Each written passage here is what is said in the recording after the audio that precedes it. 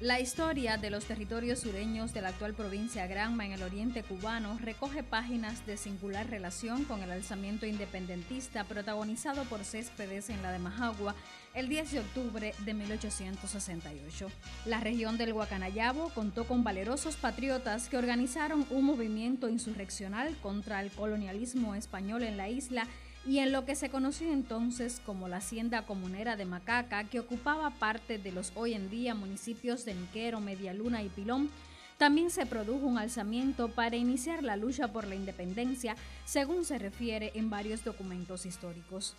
La familia Céspedes, aunque su residencia las tenían en Bayamo y Manzanillo, pero sus propiedades, su hacienda estaba situada aquí en toda esta zona conocida como la Hacienda Comunera de Macaca, que comprendía lo que es hoy la totalidad de Niquero, parte de Media Luna y parte de Pilón.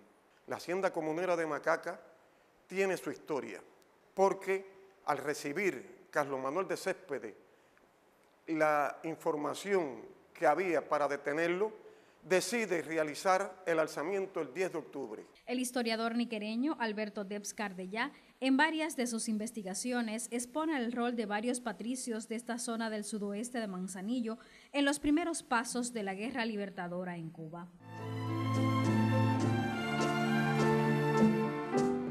Todo lo dispusieron estos valientes hombres para pelear por la libertad sus riquezas materiales, pero sobre todo arrojo y sentimientos patrios para lograr la emancipación definitiva.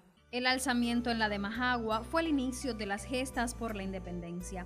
Céspedes y el resto de los patriotas que lo secundaron no escatimaron sacrificios y fueron a la guerra, sus vidas ofrendadas por la libertad de la patria. 155 años después, sigue siendo este sitio y su historia ejemplo para todas las generaciones de cubanos que aman la plena soberanía. Inés Castro Machado para el Sistema Informativo de la Televisión en Granma.